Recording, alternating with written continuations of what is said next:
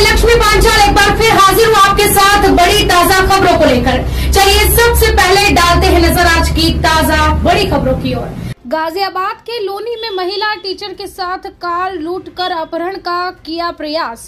गाजियाबाद में बदमाशों के हौसले बुलंद। एक के बाद एक वारदात को अंजाम दे रहे बेखौफ बदमाश। गाजियाबाद के लोनी में महिला टीचर के साथ कार लूटकर अपहरण करने का प्रयास किया। स्कूल से पढ़ाकर वापस लौट रही महिला टीचर सरिता वर्मा के साथ मोटरसाइकिल सवार तीन हथियार बंद। बदमाशों ने कार लूटकर अपहरण का प्रयास किया। थाना लोनी क्षेत्र के धोरीपुर गाँव के पास की घटना बताई जा रही है। सिरो, सिरोरा गाँव स्थित सरकारी स्कूल से वापस लौटने, अपने घर लौट रही महिला टीचर सरिता। आसपास के खेतों में काम कर रहे लोगों के आने पर कार लूटकर बदमाश भाग गए। लोगों ने पुलिस को सूचना दी। पीड़ित ने, पीड़िता ने थाना लोनी पर शिकायत की है। वहीं गाजियाबाद के राजेंद्र नगर इलाके में रहती है महिला टीचर। कार से स्कूल आना जाना करती है महिला टीचर।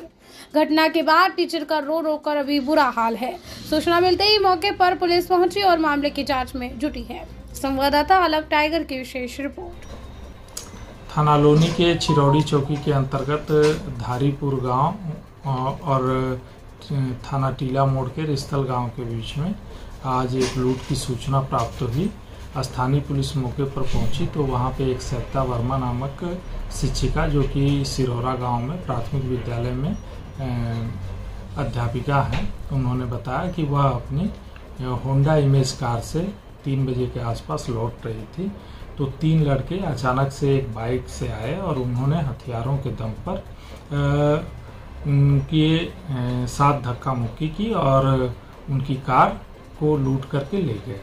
उनकी इस सूचना पर तत्काल अभियोग पंजीकृत कर दिया गया है और इसमें इस घटना के अनावरण के लिए टीमों का गठन कर दिया गया है। आसपास के सीसीटीवी फुटेज तथा अन्य जो है मैनुअल इंटेलिजेंस के आधार पर घटना का शीघ्रतम शीघ्र अनावरण किया जाएगा और इसमें कठोर विधिक कार्रवाई सुनिश्चित की जाएगी ताकि इस प्रकार की दुस्साहस भविष्य में ना हो।